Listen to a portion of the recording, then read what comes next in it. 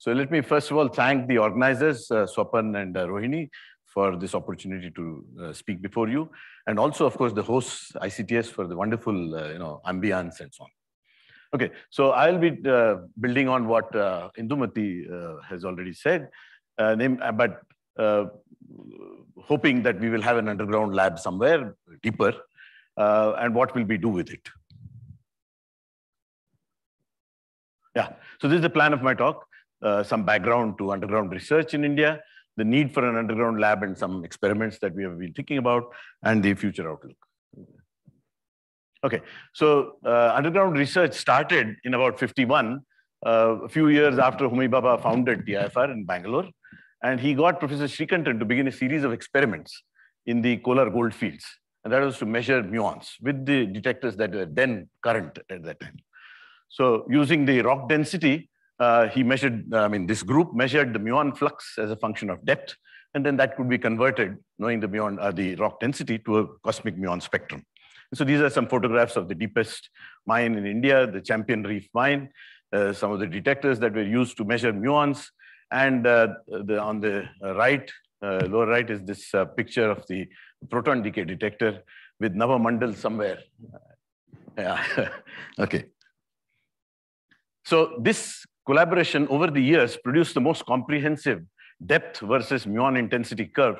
And as you can see, I mean, this extended over several orders of magnitude. And at some point, they hit uh, a flat, uh, I mean, uh, dependence, which showed that these neutrino experiments could be done. Okay. So the first atmospheric neutrino detection was done in 65 in KGF. And uh, this is the paper. So it was a uh, TIFR, Osaka City University, and uh, Durham collaboration.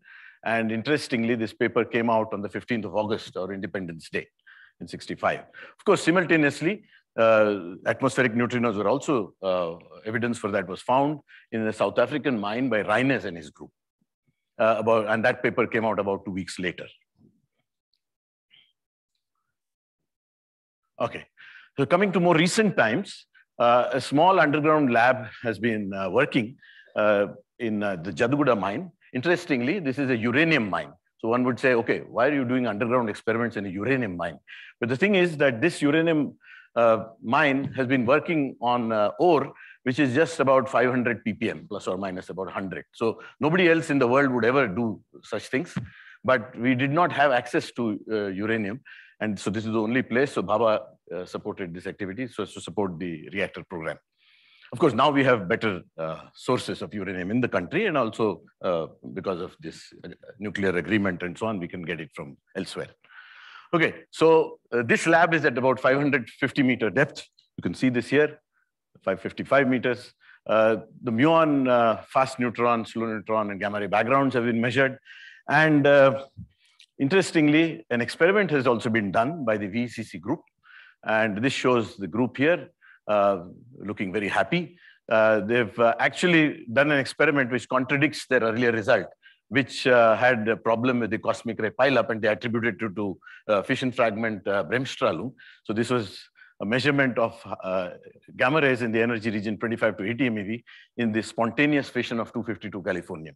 So the earlier result was somewhere here, and there were other groups elsewhere who had also done this. Uh, but when they went down, the muon background came down and the muon pileup of course, reduced drastically. And so they contradicted the earlier result of the same experiment uh, by, by the same group. Okay. So this is just one example of uh, experiment done at that place. So now I come to need for underground lab, possible experiments. Uh, many experiments which involve neutrinos, rare decays, ultra low cross-section measurements are finally limited by the cosmic ray background. So this is, of course, uh, needed, such a lab. And some experiments, of course, can be done at a few hundred meters depth. Uh, some of the nuclear astrophysics experiments can be done. Um, but some others require the largest possible depths. For instance, experiments uh, like the you know, SNO experiment, which actually measured the neutral current signal through singles measurement of neutrons. That requires the muon flux go down uh, a lot. Uh, otherwise, you would mistake a neutron signal for actually a muon-induced uh, neutron signal. And then, of course, there are many seismic measurements that also require deep sites to reduce noise. Indeed, uh, there is also a gravitational wave detector being built by the Japanese in an underground site called Kagra. So there are many possibilities once you go underground. I don't know whether this is, ah, yeah, it has. There's a big delay, yeah. Uh, the experiments, so there is a uh, expression of interest meeting uh, about um, three months ago in TIFR, where various groups were called. Of course, not all uh, groups could come at that time. So I will uh, talk about some things that uh, those groups actually did, were not able to make it in that meeting. Uh, so broadly, these experiments involved neutrinos, dark matter searches, nuclear astrophysics, rare nuclear decays, and geophysics. Uh, again, maybe in future we will also get the biologists on board because some experiments of that sort also can be done. So the experiments involving neutrinos, of course, you have heard about the 51 NiCAL detector uh, for INO, what, uh, what, are the, what are the physics that it can do. Uh, I will also say a little bit about solar and supernova neutrinos that can be done with something that we have been working on uh, starting about a year ago on a one kiloton deuterated liquid scintillator. The uh, neutrinoless double beta decay, I think Vandana just alluded to because she was also talking about other kinds of detectors in 124 tin. The, the, that's an ongoing R&D. Uh, dark matter research using both cryogenic cesium iodide and then cryogenic silicon, uh, superheated liquid, uh, and so on. I will not talk about that. So the ones in blue, I will say a little more about. Uh, nuclear astrophysics, there is, there's a group uh, formed involving universities, IITs, and some of the research institutions uh, who want to put together a low energy accelerator of the order of 5 million volts, single ended, underground, and also develop a gas, supersonic gas jet target, because these things uh, involve very high beam currents, and also a recoil mass separator. Uh, all these things are some things which the low energy nuclear physics community is quite familiar with. So these are things that are not terribly unknown, but they do require some developments like this gas jet target and so on. Okay, then there are also proposals to measure rare nuclear decays, forbidden decays, and so on. Uh, also, uh, because of these other experiments, which involve uh, you know, very rare events, you also require a low background lab. This is something that Vandana already talked about, and such a thing should be there in an underground lab as well. And then there are geophysics experiments, which involve seismic measurements, gravimetric measurements, geomagnetic, and radiogenic experiments. So the ones in blue I will talk about a little more. Okay, so this is something uh, that we want to do, uh, and this would require a deep underground lab. Uh, I don't know whether I've skipped uh, a slide. The need, wait a minute. There's some slide which, yeah, okay. So, okay, well, so we, we for some experiments, as I said, we require uh, two kilometer uh, rock overburden. Okay, so this uh, low energy neutrino detector would involve a deuterated liquid scintillator. This is, of course, inspired by the Sudbury Neutrino Observatory uh, experiment, which is a seminal experiment. And uh, that used one kiloton of uh, heavy water loaned for $1 by uh, the company that makes this uh, heavy water. and they measured the solar neutrinos and solved the solar neutrino problem in a beautiful manner. Now, what they did is to look at the Cherenkov light, and for the neutral current signal, of course, they had various phases. And the last phase involved putting helium-3 counters to measure in singles the neutrons that are produced as a result of neutral current interactions. But the threshold for the neutrinos was of the order of 5 MeV. Note that. This is also roughly the threshold that is there in the Super K experiment, the 50 kiloton water Cherenkov experiment. Uh, a deuterated liquid scintillator, just because the light output is much, much more than in Cherenkov, uh, would have a much lower threshold, possibly 100 or few hundreds of keV. So that would lower that very, uh, very much. And the other thing about the deuteron is because it's a loosely bound proton-neutron system, it can measure through the charge current interaction, both neutrinos and antineutrinos of the electron type, essentially because this is a low energy detector that we want to build. So these are the reactions that are involved. Uh, the neutrino and the antineutrinos of the charge current, these are the uh, thresholds, energy thresholds. And as you can see, the uh, neutral current uh, is again, uh, you can do it for any kind of neutrino, nu e, nu mu, nu tau. And uh, the threshold is, of course, the binding energy of the neutron. And uh, you can, of course, measure also elastic scattering on the electron, but also elastic scattering from the other kinds of neutrinos. So this is a very versatile kind of neutrino detector because of the fact that it has neutrons and protons and electrons, where you can determine the elastic scattering. Okay, so what science can a one kiloton uh, uh, DLS stands for deuterated liquid scintillator do, detector do. So one of the things that it can do, for instance, is to measure the survival probability of the electron neutrino over a large span of energy. Now, what has been done by Borexino is in this region below about 1 MeV using the 7 beryllium neutrinos. And at the higher energies of the order of uh, 4 uh, MeV or so, uh, uh sorry, uh, 5 MeV or so, 5 MeV and higher, so the average energy is about 8 MeV or so, uh, by SNO as well as Super Kamiokande. Now, what such a detector could do just in one year, this is an estimate, is that it could put a point here. And in fact, with more data, you could actually fill up that intermediate space. Now, that would enable you to distinguish between the so-called uh, MSW paradigm, which is the currently accepted uh, uh, way you analyze things for solar neutrinos, but also uh, uh, distinguish between other non-standard interaction theories beyond standard model theories. The other thing that this could do is that it could measure the day-night effect. This has been measured to one to two sigma level by SNO and also by uh, Super Kamiokande because they're actually looking at the tail end of the neutrino spectrum. If you can measure it for lower energies, and in fact for the whole spectrum, uh, we can we think we can do it uh, uh much better. Of course, how it started was uh, we looked at the possibility of using such a kiloton DLS for supernova neutrinos. So this is this is the reference for that. Um, we could look at supernova neutrinos and antineutrinos, and those in from supernova are typically 10 MeV and higher. Uh, this is a very good detector for that. We can, of course, uh, signal the appearance of the supernova like other detectors. So it, we could contribute to the supernova watch. We could uh, help in the multi-messenger astronomy. And uh, as uh, Amol and uh, Uh, uh, Dasgupta have shown, that you can also uh, infer the mass ordering and new new interaction signatures. Now, why DLS? Because India is best place to do that. We are the largest producer of heavy water in the world because we have heavy water based reactors, nuclear reactors that produce power. In fact, uh, about, I think it was about a year ago or a little more than a year perhaps, that the government approved the construction a caravan mode of 10 700 megawatt heavy water based reactors. So the heavy water board has the capability to support that activity. And each uh, reactor needs about 500 tons of heavy water. So they, they are geared up for 5,000 tons. What we require is about one kiloton. So they, they're not terribly perturbed by this figure of, we, when we asked them, we said, okay, can you do something like a few hundred tons? Uh, so they said, no, no, there's no problem at all. Then we said one kiloton, yeah, we can do it. So I think they have the capability of, uh, you know, delivering this kind of, this amount of uh, heavy hydrogen. Now, of course, uh, they can do it, but I mean, they can get, get you the source of deuterium. But of course, a lot of R&D is required to be carried out, and particularly in BARC, to convert this into the detector that you want. So on a small level of a few liters or maybe a few hundred liters or a few tens of liters, it has to be done in BARC. And then they can take over because they have the manufacturing capability.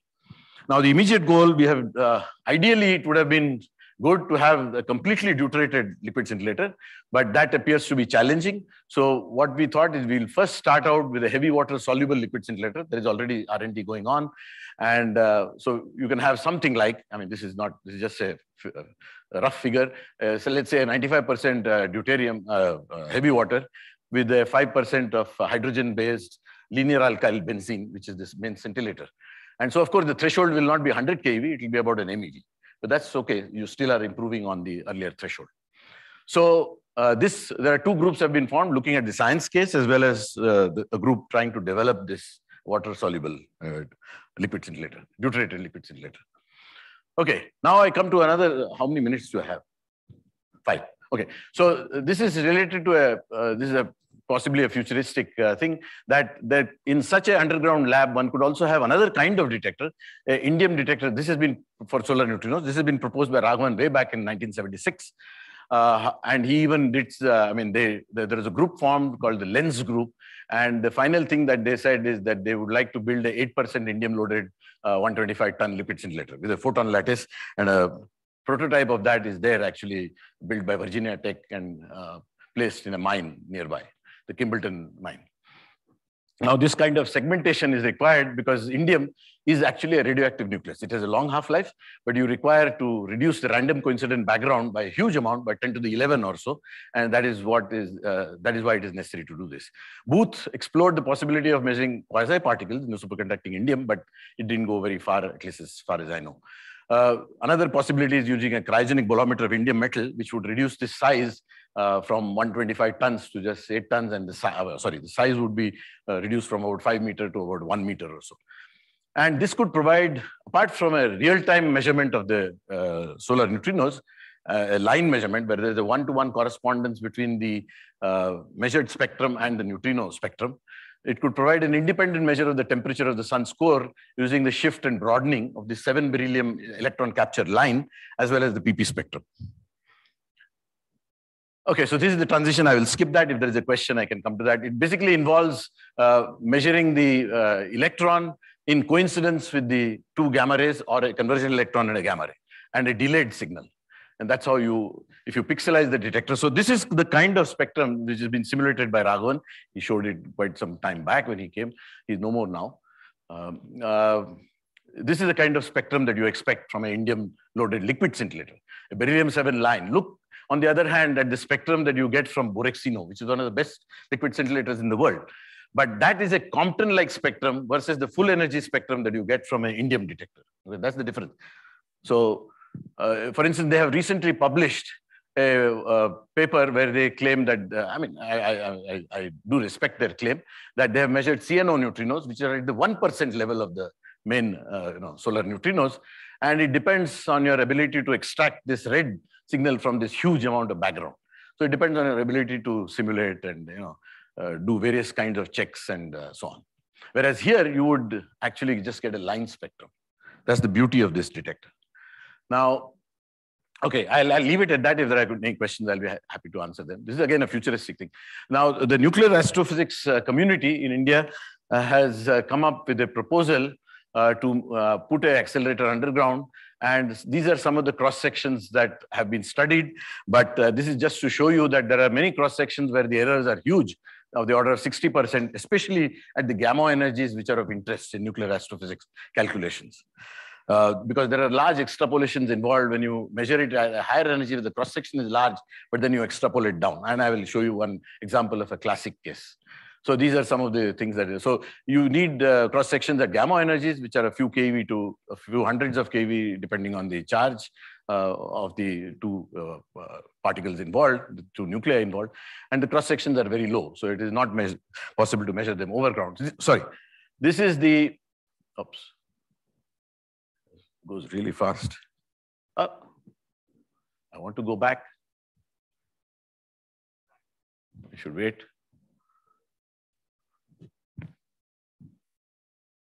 Wait. Ah, this is the holy grail in nuclear astrophysics, namely the carbon-12 alpha gamma cross-section. And there are many groups which want to do that. There is a group in the Jinping uh, laboratory in China, which is the deepest in the world, 2,400 meters below ground. And uh, they want to measure this using alpha beam on a carbon target.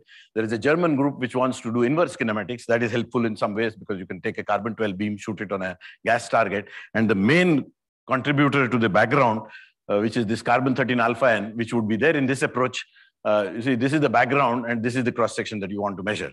So this will go away. But if you have a recoil mass separator, of course, this reduces very much more. So this is something that could be done. And uh, so there is also a group which is uh, has great expertise in making, building these recoil mass separator, design and building. And uh, this, uh, they, they want to do this. So they want to use a uh, advanced supersonic gas jet target they want to use recoil mass separator to eliminate this background. And then they have also a very uh, nice design for this. Okay, the other things that could be done is actually measuring radon. I think I, I do, do not have expertise, but apparently this is very useful uh, in close uh, environments.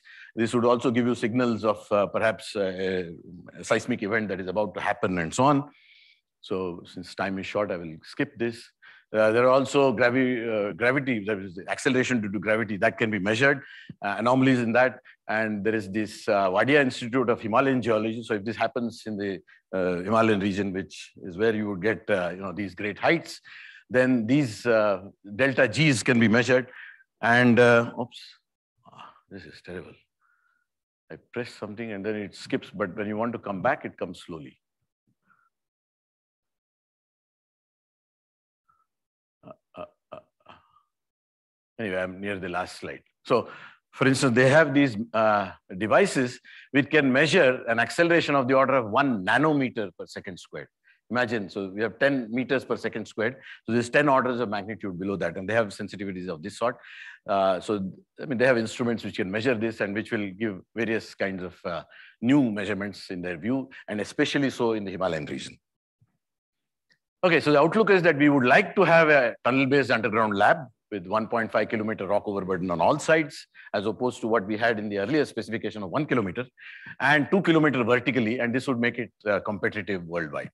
And then so possible sites are being explored given the situation in Theni. Uh, so let me thank uh, and acknowledge all these members of the INO collaboration, NDBD, nuclear astrophysics, nuclear physics groups, uh, probably have missed out TIFR at BARC, uh, seismology uh, lab, radon lab, geomagnetism lab. And so finally, I come to the end. Thank you. Thank you. These are, by the way, pictures taken at this campus. Beautiful campus, as I said. Thank you.